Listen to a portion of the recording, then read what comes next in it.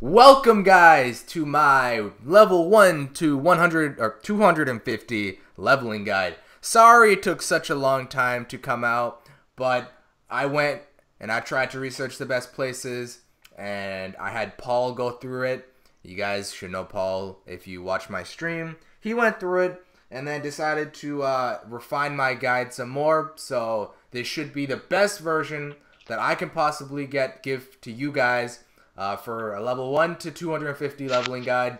So without a further ado, Paul, you can kick it off and tell the people what they need to do to start off. Okay, so some classes you start out as level 10, for example, like Phantoms. Like Phantoms, you drink that little potion and it takes you to like to like level 17. But other classes, let's say you start to like start at level 1. Um, you want to do the quests I feel like quests for uh, like pre level ten are pretty useful. And yeah, should we should we go with the next one? Next part. All right, guys. So at level ten, you are supposed to be at Streetlight Row. And any uh, additional comments you would like to add, Paul? No, they give. Um, well, let's leave the party real quick. So we're sharing XP. They give 53 XP per kill and they're relatively like low HP, so you can kill them pretty fast. All right, and let me just give you a little perspective of how to get here. So right now we're in Streetlight Row. When you leave, as you can see, let me just go back to Edelstein so I can show you guys how to get here. So right here I'm in Edelstein, Edelstein, whatever it's called. Go to the map, the right portal, and then you go past these blimps, and then you go to the next map past the pointed signs. And then you'll be at Edelstein scrolling path 3. You go past these little Fennec Fox looking guys. And then finally you'll be at path 4 with these uh, little trash bags. And you go through this portal in the top left to get to uh, these street lamps. So you're going to want to do the street lamps until level 22 or so. Usually if you're more funded and you have good damage or you're naturally a high damage class such as Shade, you can leave these street lamps sooner. Uh, but you know, 22 is usually a good level to leave here. Go. Okay, so this next part, um, I something I found. So most people think that you can only go to Gold Beach when you're level 35 through the quest, but you can actually come to the Six Path Crossway and click this guy right here Pilot Irvin. So we'll click him now. And then now we're at Gold Beach, and you can come here at level 20. 22, like recommended 22, or if you're funded 20. And this, this is where you'll be training till level 40. All right. So, so these, yeah, these guys give uh, 100 EXP per kill. So that's a ton of EXP at level 22 slash 20, and it should get you uh, up to level 40 very quickly, especially if you have Holy Symbol and a 2 times EXP card. The spawn is so good.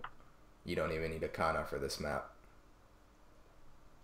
Alright guys, so at level 40, we will go to the next training spot.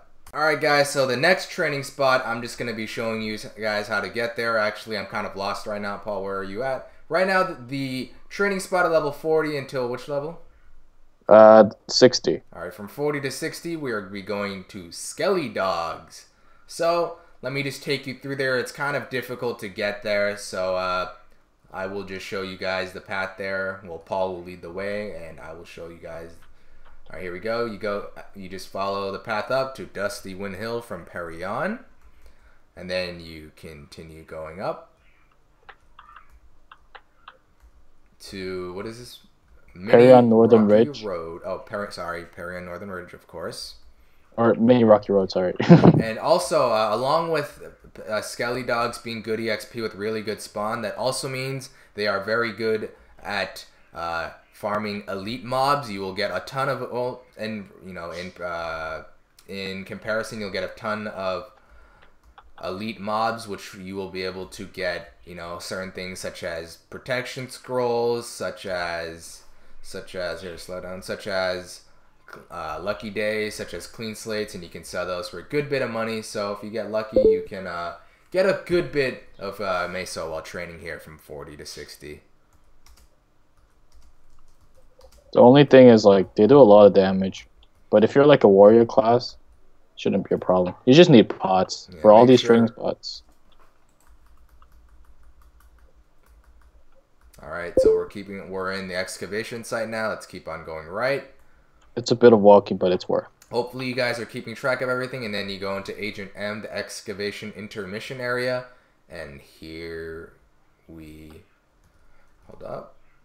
Here Look we at the spot. right now. The spot is gone. Wow, there's just many dogs. So these guys give you, let's see how much EXP they give you. Two fifty six. They give you 256 EXP per kill, and they will get you from 40 to 60 very, very quickly. And you can use this little portal right here at the statue, and it takes you all the way up. So basically, you can just go here, clear this. Well, all right, Paul's doing this. Clear this, clear this, clear this, and repeat. Now, keep in mind, at level 40, you probably won't be able to clear all these, and the spawn will be just so fast, you won't be able to even kill all these. So, you want to, once again, you want to do this from 40 to 60, and now we will be going to the next training spot. Alright, guys, so at level 60, you're going to be wanting to come to El Nath here.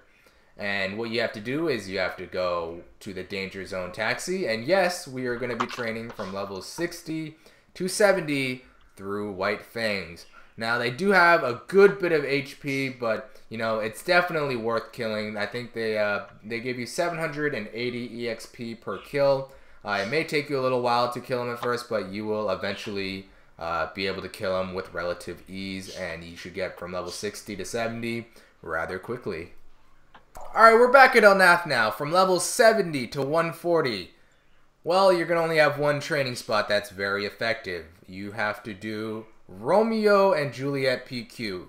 Now, let me just give you a few tips about Romeo and Juliet PQ. All you have to do is come in here and say J, join RNJ, RNJ PQ. And uh, usually, what you want for RNJ is you're going to want a Kanna and Holy Symbol, and make sure the average level of the party is higher than you because you get significantly more EXP for uh, people who are higher than you. Uh, also, if you guys don't know how to do RNJ, you go through the first stage, which is looking for random items, the second stage, which is clearing mobs, the third stage, which is filling up the beakers, and then you just grind for the fourth stage for the rest of the time. It shouldn't take you long at all to get from 70 to 140, so you should just do RNJ. And when you get to 140, I will see you guys in the next clip for the next training spot. Also, just a uh, quick note, real quick. If the average party members are five levels or higher than you, you will not get any Leech XP. This is pretty much a mechanic in this entire game, but just wanted to remind you guys that if the average party is uh, more than five higher than you, then you're going to be pretty much gimping your EXP rate. So while it is good to have the average uh, level be higher than you, make sure that it is five levels or less. Alright guys, so I'm just going to be real with you guys. For, between the levels of 140 and 163, in my personal opinion, they are the hardest levels in the game. Now, one method that you should do is EvoLab. Now, do EvoLab five times a day or as many times as you can handle. And the cores that you're gonna that you're gonna be wanting, if you can get better ones than these, that's fine. But you should just buy the ones in the store. You should get Monster Level Core plus seven, Monster XP times five, and Monster Population times thirty. These are the three cores you're gonna be wanting. And let me just show you guys real quick that the map you're gonna be wanting to train on. So when you're doing this, have the Monster Population the monster HP times 5, and then the monster level plus 7. Now, if you have like HS or whatever, and the average level of the guys in the party are higher, or like with the of your uh, bishop is higher, maybe you don't need the monster level core, but this is the link that you're going to be wanting to train in. Link 3. So, yep, it's pretty self-explanatory. You know when this thing blows up, all the mobs come towards the center. I'll just wait for that. So basically, you're just going to be wanting to kill mobs. And let's let's just wait for this little generator thing to blow up so you guys can see all the mobs being uh, funneled towards this part of the room. And it makes training infinitely easier for you. Uh, let's just wait. Any minute now, this should blow up. There it is. And as you can see, they all funnel towards the middle of the room. Make oh, also keep in mind if you could somehow get a Kanna and Holy Symbol in here. Well, maybe not a Kanna, but have Holy Symbol on the outside. That would be amazing. Like you know, come out here, have a little account here, HS, and then go back in. You know, th- that will speed your training up immensely. Now, between the levels of 140 and 163, there's also another training method that is pretty efficient, and that is Dimensional Invasion. So let's just head back out and go into Dimensional Invasion. It's pretty easy, pretty self-explanatory to do. You're pretty much going to have to kill mobs uh, for a couple minutes, kill you know three bosses or so, and it's over. So this is Dimensional Invasion. You talk to Piston, and you just go begin invasion. Uh, you know it's pretty uh, pretty difficult to do if you aren't funded, but uh, these are pretty much the only two ways you can do. Uh, if you can't if you if you can't uh, solo Dimensional Invasion, the best bet is to get party members because you'll still get pretty good EXP, and uh, having HS and all that would also be great. You don't need a Kanna for Dimensional Invasion. Alrighty guys, so if you have made it this far into the guide, it's pretty smooth sailing now for the rest of the levels. So from level 163 to 168, you're going to be wanting to do Stronghold uh, Drill Hall 1. Now let me show you how to get there. So we're in Leafre right now. I'm pretty sure we can all get to Leafre. Now as you can see, you have to go to Leafre Station and then climb up past Tammy the crew member and you'll see this half dragon dude, Corba, and he will turn you into a dragon. So now we're just gonna fly to Temple of Time now. All you have to do is just press right and wait for your little dragon self to fly there. So let's just keep on flying. Takes about 30 seconds to get there. It's kind of a hassle, but whatever. If you have a Hyper Telerock, you know, this helps a lot, but if you don't, what you're gonna have to do before going into Stronghold is you're gonna have to do some pre-quest through Chief Alex. Uh, I think the quest is called Investigating the Stronghold. What you have to do is here. I'll show you guys when I get there. So let's just first go there. All right, so we're in Temple of Time now, and we're just gonna want to climb up. All right, I'm pretty bad at climbing up, so let's go to Temple of Time. And now where you're going to be wanting going is the first portal with the door with the red marble over it. And then go right to this portal to future Henesys. Now, if this is your first time going to Stronghold, what you're going to be wanting to do is uh, go through some quest lines from Chief Alex. It'll be called Investigating the Stronghold. And then after that, you can just go through this portal right here. And then you go down one. And then down another map and you'll be pretty much at stronghold. All right, and then you go right. And now, if this is, uh, once again, if this is your first time going, there will be like little black ninjas here, and all you have to do is kill them until they drop. Uh, let's see if I still have that item. I should. Right here, Cygnus Knight emblem. You have to have them drop one of these. After that, you'll be able to go through here. And this is drill hall number one down here, the first portal right here. This is drill hall number one. These mobs are level 168. So if you can find a party in here, you will be able to get Leech EXP. And from level 168 all the way until 250, the training spot's not that far away. All you have to do is go up here to drill hall number two, and there's probably going to be people in here.